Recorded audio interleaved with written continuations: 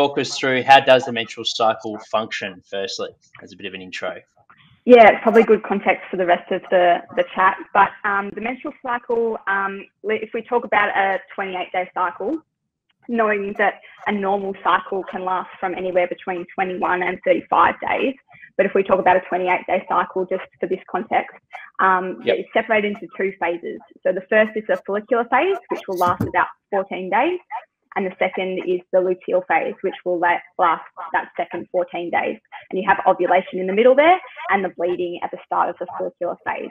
So those are the two phases that we're working with. Like I said, there obviously is a lot of variability in cycle length. So we mm-hmm. also know that most of that variability comes about from the follicular phase. So most women will actually have about a 14, 15 day luteal phase.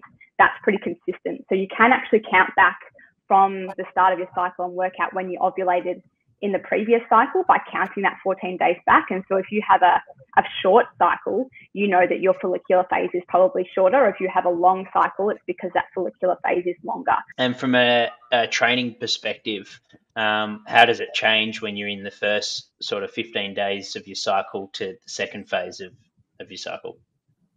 Yeah, so from a training perspective, um, I guess I want to preface this by saying that a lot of the data at the moment coming out in the research isn't um, that strong yet. Um, and mm-hmm. so a lot of the recommendations need to be taken with a lot of caution, and you really should be working out what works for you individually.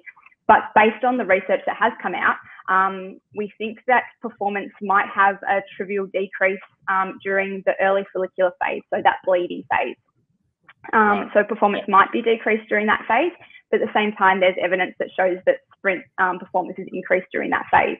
So again, um, it's about working out what works for you. You mentioned monitoring your cycle. So, um, what, what, how would what would be your recommended um, approach? So, uh, how, you know, how much time should you be spending? Is it a daily ritual? Is it a weekly? Um, what, what would you be a recommendation for young athletes? To start with, it probably needs to be daily. Um, just if you're trying to work out how each different phase affects you. If you just want to know when you're going to get your cycle, you can just do it monthly. That's fine.